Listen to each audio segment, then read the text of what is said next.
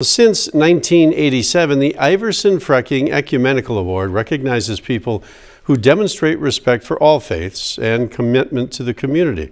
The 2023 award winners were announced today in a ceremony at the Bethany St. Joseph Care Center.